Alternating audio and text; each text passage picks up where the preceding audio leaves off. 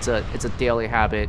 It has a, a tremendous mission of keeping people safe and having that most accurate information and alert on your phone to let you know that, hey, you might need to evacuate, really essential. The brand mission is really helping users get the knowledge that they need in whatever particular weather situation, right? Uh, accurately and quickly. Our second mission is to use that data that we collect on the weather and provide insights to our advertisers and clients. The Wunderkind partnerships has been very good for both sides. It's been a strong partner for us in terms of working together. I also think that what we like about Wunderkind is the quality of advertising. I think they're, they're very high quality advertisers and ones that feel really good to be associated with.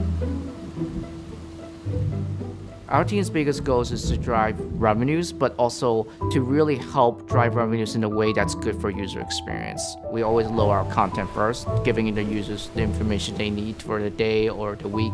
We actually load ads afterwards. We want an experience where the ads come quickly after the content, so it looks like a very seamless experience really selecting the right ads and the right type of ads that would be good for both advertisers and the site and our users, that is something that has been helpful for us.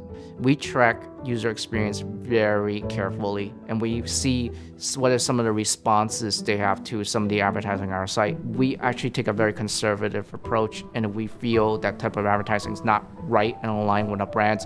We rather forego the revenues and rather take that off the type of advertising. And so I would say minority that gets the ads, it's really at the appropriate instances. There are very few things you actually have to check every day. And this is one of those. And it's really phenomenal to work for a company that has a mission that really keeps users safe. It's additional uh, impact beyond just driving revenues.